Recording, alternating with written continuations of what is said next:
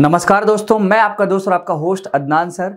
जैसा कि दोस्तों, आप सभी को पता है कि जब हमारे देश में अंग्रेज़ों का रूल था तो उन लोगों ने हमारे देश में एक कानून बनाया था, जिसका नाम था इंडियन पिनल कोड और इसी के साथ साथ आपका क्रिमिनल प्रोसीड्यूर कोड और साथ साथ आपका दोस्तों इंडियन एविडेंस एक्ट लेकिन 2014 के बाद जब मोदी सरकार आया हमारे भारत में मतलब कि जब मोदी गवर्नमेंट बना तो गवर्नमेंट ने काफ़ी सारे चीज़ों में चेंजेस किया। और इनफैक्ट अभी रिसेंट्स में ही अगर हम बात करेंगे तो हमारे देश में आईपीसी की कई सारे सेक्शन को रिप्लेस करके वहाँ पर जो नया नाम जोड़ा गया, भारतीय न्याय संहिता, जो हमारे स्क्रीन पे आपको दिख रहा होगा।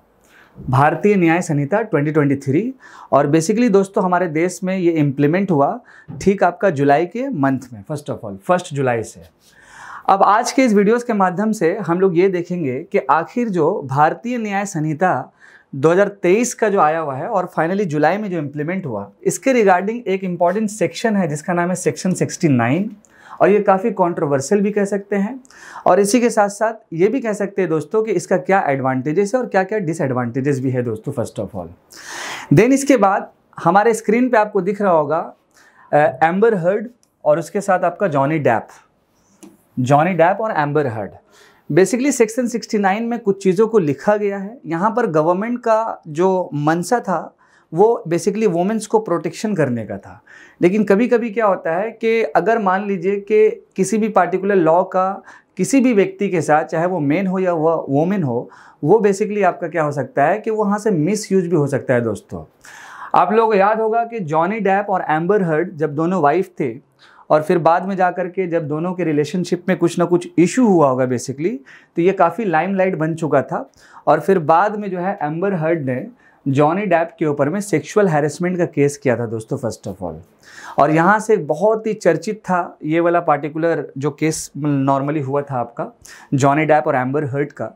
इसी के रिगार्डिंग जो पार्टिकुलर भारत में भी जो कानून बना सेक्शन 69 के अकॉर्डिंग तो यहाँ पर एक चीज़ इंपॉर्टेंट है कि अगर मान लीजिए कि कोई अगर दो व्यक्ति है एज फॉर एग्ज़ाम्पल एक लड़का और इसके बगल में एक लड़की है, अगर ये दोनों अपने रिलेशनशिप में हैं, और ये रिलेशन बिल्कुल अच्छे से चल रहा है, अब देखिए भारत में हो या फिर वर्ल्ड वर्ल्ड में हो तो रिलेशनशिप का अलग अलग टाइप होता है तो उस चीज़ों पे भी डिस्कस किया जाएगा, लेकिन एक स्टोरी को थोड़ा समझिएगा। एक लड़का, एक लड़की दोनों मान लीजिए रिलेशनशिप में है, अब ये रिलेशन जैसे आगे चला, और मान लीजिए लड़कों ने, लड़का ने है, ऐसा कहा लड़की से कि हम तुम्ही से शादी करेंगे। मतलब दोनों का अंडरस्टैंडिंग बना और साथ साथ जब कुछ दिन अगर हो गया तो फिर वो बोला गया कि मैं तुम्ही से शादी करूँगा, जो नॉर्मल बोला जाता है। अब इसको देख करके लड़की थोड़ा खुश हो गई और साथ साथ आपका वो भी ये सपना देखने लगी कि हमको अपना जीवन इसी के साथ बिताना है। लेकिन फिर फाइनली क्या हुआ कि लड़की को ये नहीं पता था कि लड़के के मन में क्या चल रहा है। ठीक है? अब लड़का क्या किया है कि उसको बोला कि मुझे तुम्हारे साथ सेक्सुअल इंटरकोर्स करना है। तो लड़की जो है नॉर्मल तैयार हो गई। क्योंकि वो लोग रिलेशनशिप में और फ्यूचर में शादी करने वाले हैं। अब जैसे ही ये सेक्सुअल इंटरकोर्स हुआ, कुछ ही दिन के बाद फिर क्या हुआ? लड़का जो है, लड़की से ब्रेकअप कर लिया। एक तो नॉर्मली एक स्टोरी चलता है, एक इंसिडेंट चलता है। तो गवर्नमेंट का मेन जो मनसा था ना सेक्शन 69 ऐड करने का बीएनएस में, वो यही था कि अगर कोई महिलाएँ इस तरह से पीड़ित होती है तो उनको ये बचाया जाए। तो जिसमें सरकार ने सेक्शन 69 में साफ़ साफ़ ये कहा कि अगर कोई पुरुष अगर महिलाओं के साथ ऐसा कुछ कर सकता है, झूठा वादा, झूठी बातें मैरिजेस का फॉल्स प्रोमिस इन सब चीज़ों को लेके कर सकता है और बदले में सेक्सुअल इंटरकोर्स हो जाता है, लड़की का कंसेंट ले लेता है उसके मन से, मान के चलिए तो वहाँ पर अभी राइट नाउ जो सज़ा होगा सेक्शन 69 के अकॉर्डिंग वो हो जाएगा आपका 10 सालों का सज़ा हो जाएगा 10 सालों का जेल हो जाएगा, किसको? लड़का को जेल हो जाएगा। लेकिन यहाँ पर एक समझने वाला बात यह भी है दोस्तों, एक समझने वाला बात यह है कि कभी कभी क्या होता है कि किसी भी पार्टिकुलर रिलेशनशिप में हमेशा लड़का गलत नहीं होता है। कभी कभी लड़की का भी जो है कुछ ना कुछ मतलब कह सकते हैं कि आपका गलती रहता है ओवरऑल क्योंकि दोनों तो इंसान ही हैं और रिलेशनशिप में अगर आए हैं तो दोनों अपनी मर्ज़ी से आए हैं। तो यहाँ पर जो लॉ इम्प्लीमेंट हो रहा है वो किसके लिए? वो लड़के के लिए इम्प्लीमेंट हो रहा है। लेकिन अगर हम बात करें लड़की के साइड से, मान लीजिए ऐसा हुआ कि दोनों रिलेशन में है एज फॉर एग्ज़ाम्पल और यहाँ पर लड़का ने भी वादा किया कि शादी करना है और लड़की ने भी कहा हाँ मुझे करना है। और फिर बाद में ऐसा हुआ कि लड़की जो है इस पार्टिकुलर वादा से मुकर गई। तब यहाँ पर भी तो सेम कानून बनता है। इसके ऊपर तो केस होना चाहिए ना फ़र्स्ट ऑफ़ ऑल अगर सोचने वाला देखा जाए तो। तो बेसिकली इस कानून में क्या है कि अगर कोई पुरुष लड़की को झूठा वादा किया प्रोमिस किया शादी करने का और फिर उसी बीच में अगर सेक्सुअल इंटरकोर्स हो जाता है दोनों के बीच में तो यहाँ पर लड़की उसके खिलाफ सेक्शन 69 के अकॉर्डिंग उसके खिलाफ जो है, ये केस जो है दर्ज करा सकती है फ़र्स्ट ऑफ़ ऑल दोस्तों। इसके साथ साथ इसी लॉ में एक चीज़ और लिखा गया था, जो मेरे एक और वीडियोज़ में बताया जाएगा डिसीटफुल मीन्स ये बहुत इंपॉर्टेंट है। The first violation involves employing deceitful mean such as जैसे फॉल प्रोमिस हो गया। प्रोमिस बहुत चीज़ों का हो सकता है दोस्तों। प्रोमिस जॉब्स देने का हो सकता है प्रोमोशंस का हो सकता है। लेकिन इसके कंसेंट में क्या करना है? सेक्शुअल इंटरकोर्स करना है। अब हम आते हैं कि जो हमारे भारत या वर्ल्ड में कह सकते हैं कि रिलेशनशिप का जो टाइप्स होता है अलग अलग वो बेसिकली क्या है दोस्तों?